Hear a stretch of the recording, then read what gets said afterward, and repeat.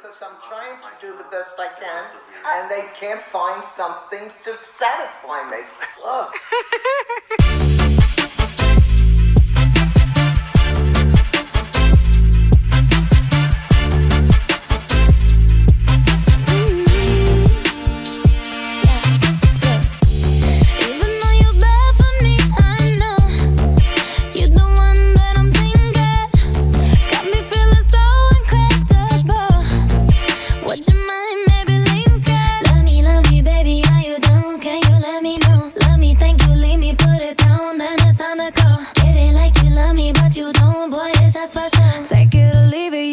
take it or leave it like uh.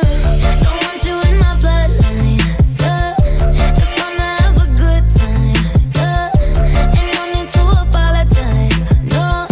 But you gon' have to let this shit go. Don't want you in my bloodline.